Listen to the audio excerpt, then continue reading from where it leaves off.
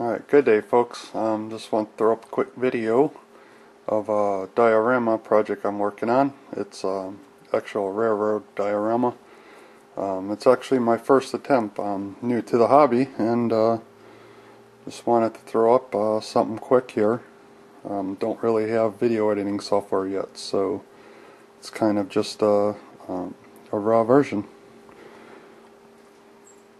It's uh, different stuff here. Um, mostly using Woodland Scenics products. Um, this is actually a diorama kit um, that you buy, but um, went out and uh, bought some other stuff. Uh, just kind of modified it and did my own thing with it.